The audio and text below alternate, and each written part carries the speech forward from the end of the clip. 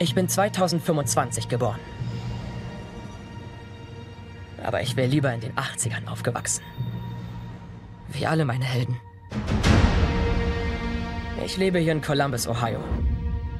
2045 immer noch die am schnellsten wachsende Stadt der Erde, was einem aber nicht so vorkommt, wenn man in den Stacks wohnt. Man nennt unsere Generation die verlorenen Millionen. Verloren nicht, weil wir verschwunden wären. Man kann nirgends mehr hin. Nirgends. Außer in die Oasis. Nur hier habe ich das Gefühl, dass ich was wert bin. Eine Welt, in der die Grenze der Realität eine eigene Fantasie ist.